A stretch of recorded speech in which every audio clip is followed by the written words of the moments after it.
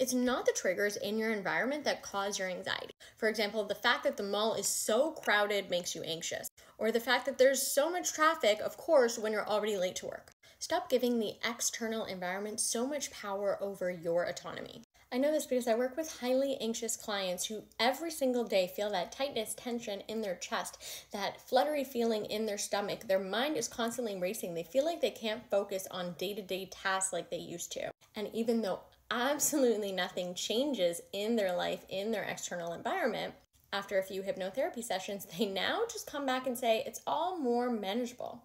They're still doing the same amount of work, they still have the same amount of kids, they still have the same amount of responsibilities, and there's still the same amount of traffic in their city, but they feel more calm, more confident, less triggered by everything.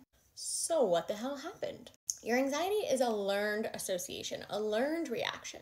And just like you learned to feel anxious in traffic or in crowded spaces or when you receive 10 new emails at work, you can unlearn these associations and reprogram your mind to feel more calm, more confident, more in control.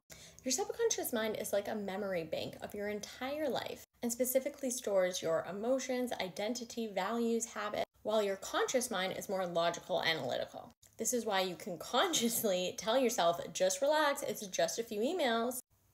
But tell me how that's worked out for you. Versus when you work with your subconscious mind, which is exactly what you're doing in the state of hypnosis. All hypnosis is a deep, relaxed, alpha level brainwave where you're still awake, you're still aware, you're still in control, but now your conscious mind is slower, is more shut off, and the critical factor, which is like a gateway to your subconscious mind, is now open, is more receptive. This is why hypnosis is able to make such powerful change in people, like help a lifelong smoker to quit overnight, or someone who was addicted to sugar to drop so much weight because now they suddenly just don't crave it anymore. It's because you're reprogramming your mind at the subconscious level, where I just said your identity, your habits, your emotions come from. So, why wouldn't we use this for your anxiety? Feel like most people don't know this, but to relieve anxiety is actually the number one thing that clients come to me for.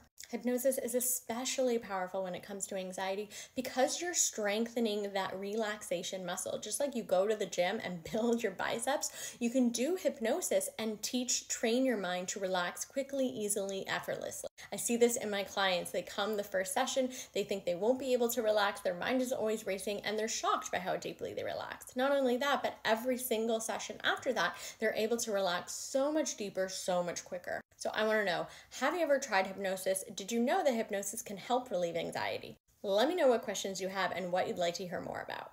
Or head to my Instagram to learn more about working together.